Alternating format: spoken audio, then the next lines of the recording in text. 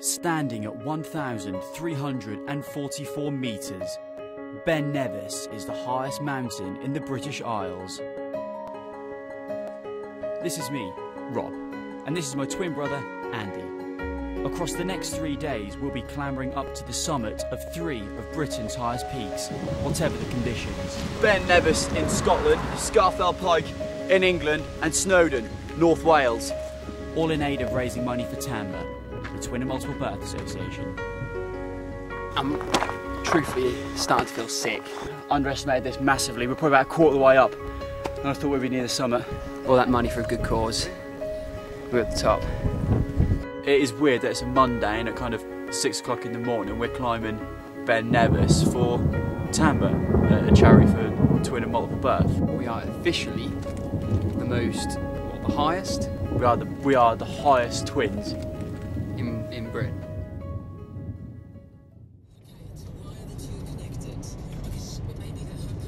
It's 5:15 a.m. and we're slowly moving away from our campsite and warm sleeping bags to the foggy and cold conditions of Ben Nevis.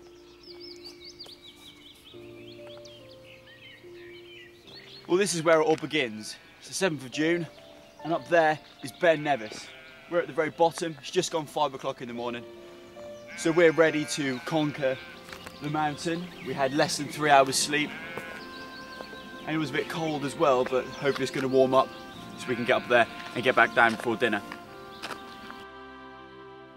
We're beginning our climb up the mountain on the south side, the most common path for all novice walkers. Being from East Anglia, a rather flat corner of the country, we're really not used to this. The advice was just to bring water, bring water, and bring some more water. But it's true. 200 yards up, and we're already very thirsty. Picking the perfect day to climb Ben Nevis is hard, with 261 gales a year and over 4 metres of rainfall. We hadn't been climbing long when we hit the clouds. God, they're so refreshing. Other than being on a plane and travelling through them, I never walked into clouds before. I reckon it's about minus one up the top. Well, already it's about seven degrees, I'd say, minimum here. So how cold it is going to be on the ascent I don't know. But I'm already very hot. We've been walking for about an hour now. So we've got about another two, another two and a half, three hours to go. The tranquility and beauty of Ben Nevis can only be appreciated by experiencing the mountain firsthand. Walking amongst the clouds can only be described as breathtaking. Now, if I told you this is June, you'd believe me. What if I picked up a handful of this snow? Three hours later, two litres of water lighter, and spirits higher than Everest, we reach the summit of Ben Nevis, the Gaelic translation of Mountain of Heaven. We are so tired and so relieved to see that kind of shed building over there. It's kind of fort area here as well. We travelled 12 hours yesterday to get here. We climbed it, we've done it. Feels fantastic.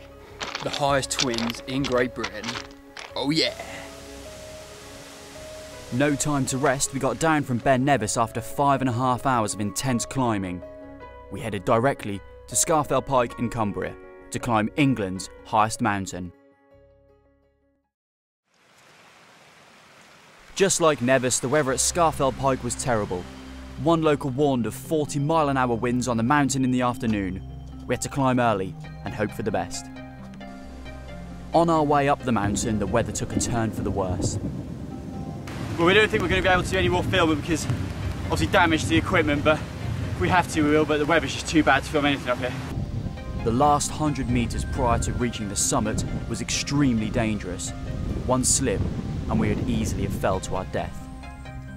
We reached the top of Scafell Pike quicker than planned, a more prominent indicator than Nevis to say the least. This was England's highest mountain. Time to climb down and head to Snowdonia before nightfall. Two down, one to go. The road trips gave Andy and I time to talk about the aim behind all of this. Indeed, this was one of the most exciting things I've ever done. But we were fit and healthy twins raising money for those less fortunate, and people were all too happy to sponsor. We talked a lot.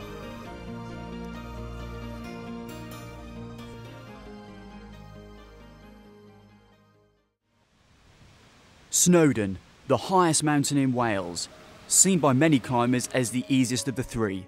But after two days of climbing and two evenings of driving, we were both exhausted and we looked every bit of it.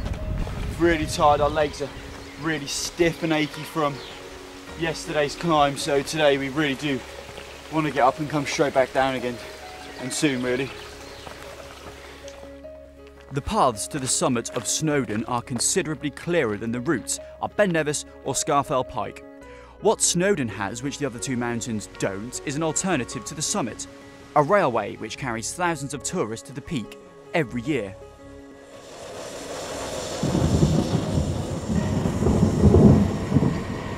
The sunny morning, which filled us with optimism, was over. We were halfway to the summit, and the cloud submerging Snowdon approached. We trekked through the dense humidity of walking in the clouds. Suddenly, we were there. We were at the summit and drenched. Absolutely brilliant achievement. We're both very happy indeed. And raised money for TAMBA as well, which makes us feel very happy. We've done it. Like three, three or four months of preparation. All that money for a good cause. We're at the top. We had done it. We had reached the peak of all three mountains in three days. For us, the adventure was now over. For the family struggling to raise multiple births, the challenge has only just begun. We hope the sponsor money we raised has improved the lives of people the same as us, only less fortunate.